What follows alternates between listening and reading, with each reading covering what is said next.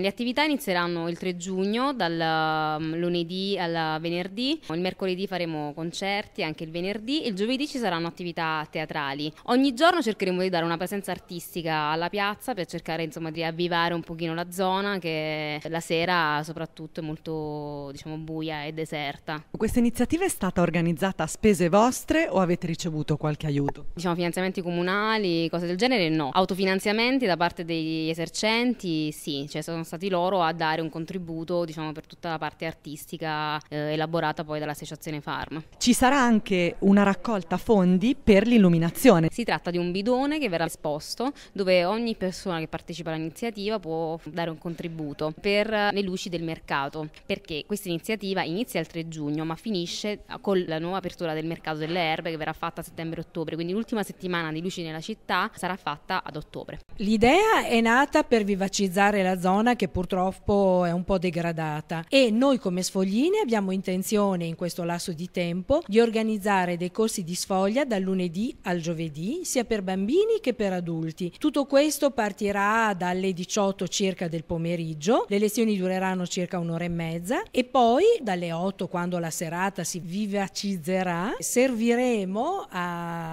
chiunque eh, vorrà sedersi ai nostri tavoli paste al forno, ovviamente casalinghe, torte salate e dolci casalinghi.